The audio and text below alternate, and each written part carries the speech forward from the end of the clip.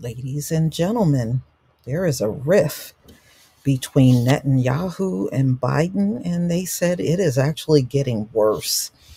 But I'm not surprised. I think the last Democratic administration, Obama, it was some issues there too.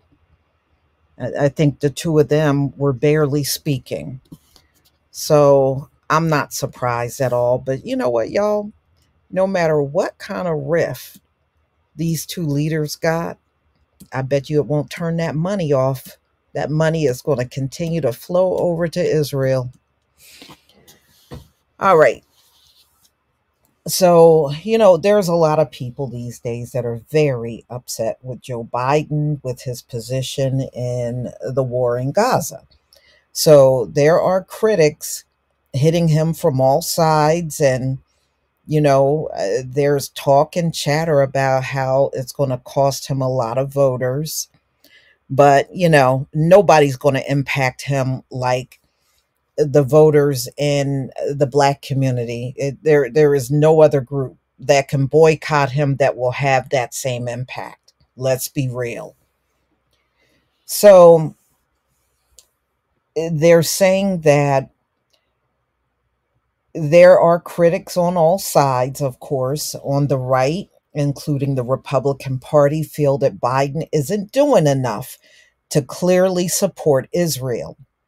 They said Biden is too squeamish about Palestinian suffering, which, despite nearly half a year of Israeli onslaught, they pin squarely on Hamas. And we know when it started because they sure won't let us forget. And some, especially those who champion uh, former President Donald Trump, um, they said they resent Biden's symbolic gestures to restore balance to the US Israeli relation. And, you know, they've been calling for ceasefires and they've been trying to also get humanitarian aid in there. And that's been a nightmare from what I'm reading about what's going on over there. So, they're saying, you know, it's still ongoing violence over there. And I mean, it's a war. So, of course, it, it is going to be violent. So, U.S. officials and their Arab counterparts are meeting over the potential outlines of a truce that can be brokered between Israel and Hamas.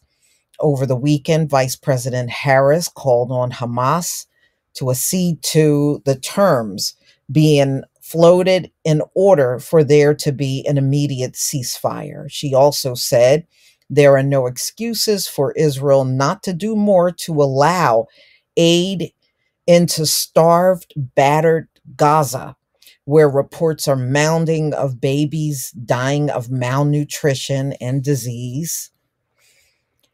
So, this weekend, Washington, the growing tensions between the White House and Netanyahu are coming to the fore.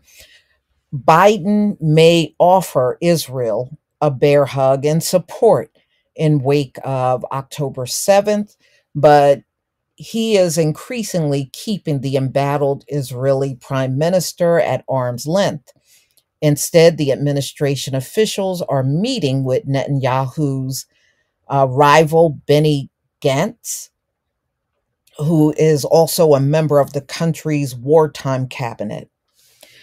So it looked like that person, Gantz, arrived in Washington for meetings on Monday and Tuesday with the administration, including Harris, as well as Democratic and Republican lawmakers.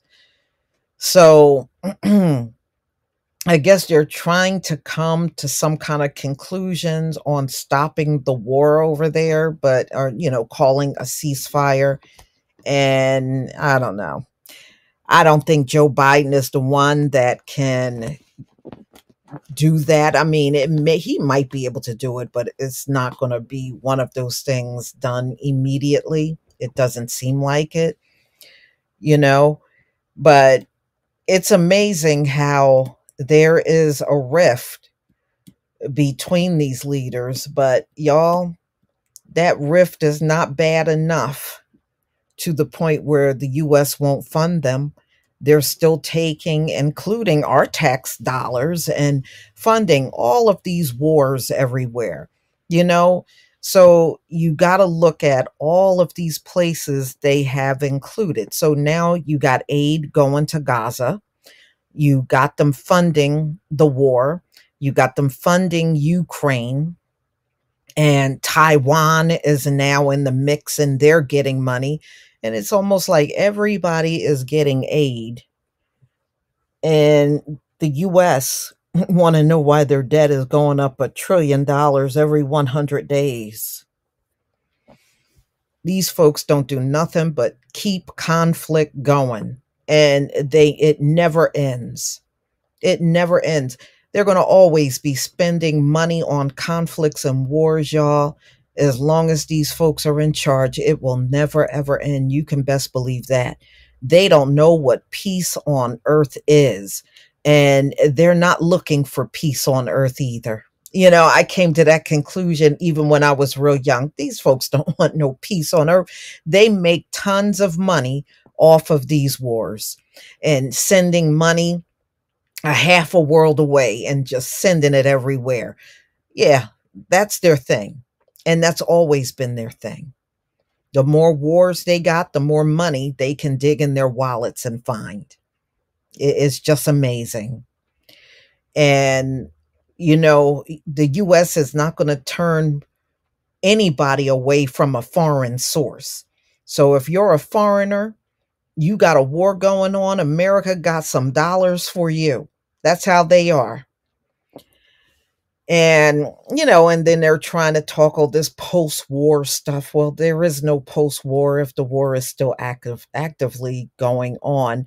And then you got leadership that's stubborn and they are not going to, they don't even want you to say the word ceasefire to them. They don't want you to even say it. So now you got the Arab community here in America refusing to vote for Joe Biden over his stance on the war. And y'all know where he stands with the black community. He hasn't done anything. So nobody is trying to vote for him there. So he got problems no matter how you look at it. But like I said, nobody's vote is going to impact him more than ours if we withhold it, which a lot of people are saying they're going to do. But y'all, tell me what you think about this alleged rift that's going on between Netanyahu and Biden. You know, just the nature of these two men, I, I would think y'all would get along just fine. I'm just saying. Please leave your comment and subscribe. Don't forget to hit on the notification bell, and I'll see you on the next video. Peace, family.